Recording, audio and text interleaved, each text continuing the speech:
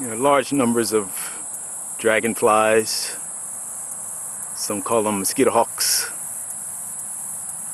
flying around me.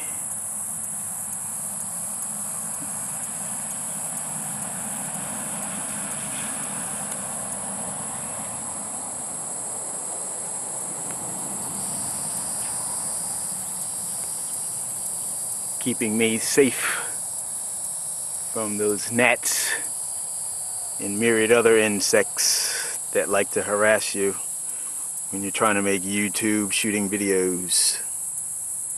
So hats off to the dragonflies as they fly.